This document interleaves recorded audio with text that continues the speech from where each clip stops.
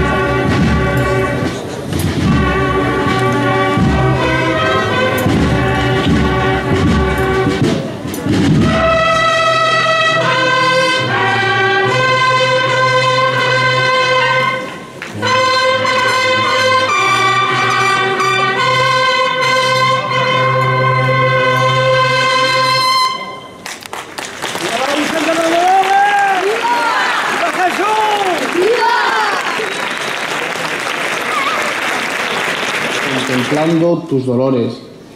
Y por eso venimos a felicitarte en esta noche, en la noche que da paso a la Semana Santa, los días que dan sentido a nuestra fe cristiana y que culminan con la resurrección de tu Hijo aquí presente, el mismo que hoy viene a saludarte a la puerta de tu casa, hasta casi que esbozando una sonrisa, porque no lo puede evitar, de lo guapa que te ve, de lo guapa que tú eres. Aunque cuando llegan estos días el rostro se torna en color del nardo y azucena, porque tus dolores, madre mía, son los nuestros, nuestra falta de humanidad, nuestra incoherencia del día a día. Pero tú siempre estás ahí con nosotros, nunca nos abandonas ni en el peor momento, como buena madre. Y es que en noches como esta se vuelve a repetir aquello que dijera el santo Juan Pablo II, España, tierra de María. Y es que ya es Semana Santa, es la semana de la pasión de tu Hijo, de nuestro Señor, pero lo primero que hacemos es venir con Él a la puerta de tu casa a felicitarte, a darte las gracias por estar un año más a la sombra de tu manto, un año más, contemplando los destellos que dibujan las gloriosas lágrimas que procesionan por tu cara. ¿Quién fuera la brisa del viento para poder acariciar tus manos? ¿Quién fuera flor que acabara deshojada cayendo pétalo a pétalo por tu singular efigie? La de la madre más ejemplar de todas cuantas ha visto la humanidad. Eres tú la dolorosa, la devoción que inició con tus lágrimas en el cabezo de Torres con el cardenal Belluga.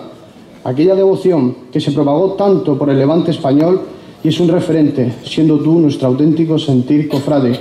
Porque sin ti, esta alama devota no sería lo mismo, o tal vez sí, pero la luz y el color con el que dibujas cada trazo que suponen tus salidas profesionales a las calles de esta villa no tienen comparación alguna. Habrá quien se pregunte qué hacemos felicitándote por tus dolores, pero es que son dolores gloriosos, los de la Madre del Hijo de Dios, que manifiesta en su forma carnal el dolor de la humanidad por tantas injusticias que vivimos. Los dolores de una madre que vio resucitar a su Hijo Jesús, porque tú eres precisamente quien le acompañas en esta Semana Santa de Alama. Eres tú misma quien estás aquí sufriendo y también le acompañas en la mañana de la resurrección, a hombros de los moraos. En ese día, colorados, azules y blancos también festejan la dicha de la resurrección, la victoria sobre la vida, igual que esta noche. Esta noche se podría recordar aquel pasaje representado en otras Semanas Santas como la de Cartagena, la despedida, el momento en el que Cristo se despide de su madre. ¿No os parece? Es el mismo Jesús quien viene a ver a las puertas de la casa de su madre a felicitarla por el día de su santo.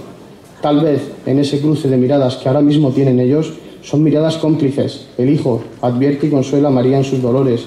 Por eso, dentro de estos próximos días, todo cambiará, todo será distinto, porque Cristo ha resucitado, pero con una connotación que hace que ese momento sea algo hermoso.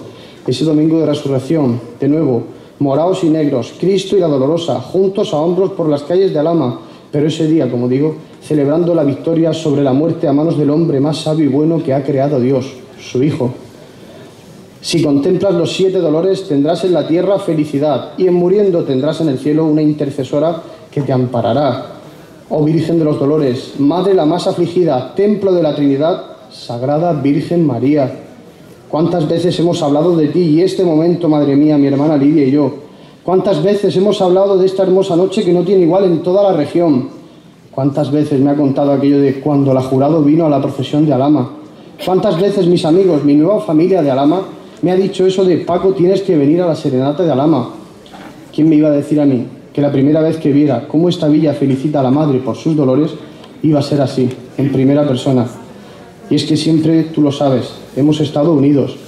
Durante años, tu hermoso rostro, que presidió mi habitación en aquel cartel de la Semana Santa, ese rostro que pertenece al Evangelio en madera de Sánchez Lozano, ese Evangelio que puedo leer día a día en mi barrio del Carmen, en los dolores. Me delito en cada versículo, en cada capítulo de esos dolores que contemplan mis ojos.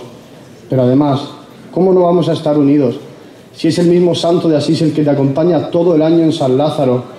Porque tú, Madre mía, aun siendo dolorosa, tú eres fuente santa, eres fuente santa, porque sobre la fuente te posas, esa fuente que tiene tu peana, el trono que tienes en San Lázaro. Por eso, a los moros de Alama, mi eterno agradecimiento por regalarme este honor de felicitarte en este día, Madre, en esta noche de azahar y efímeras vísperas.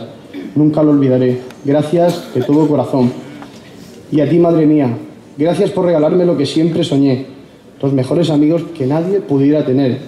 Estoy convencido de que tú me los has dado, a los murcianos y a los alameños, que junto con el resto hacen que la Semana Santa de Murcia, de su región, sea la mejor, porque sin ellos las procesiones no serían lo mismo. Ellos dan sentido a estos días y, como no, a la hermosa espera que dura todo un año. Alameños, contempladla, ahí tenéis a vuestra dolorosa y que nadie diga lo contrario. Es la madre de Alama que en octubre ofrece su rosario. Cornetas y tambores, claveles, alelíes y rosas, túnicas y faroles, pasos, palios y escultores, nazarenos, cofrades y juntas directivas.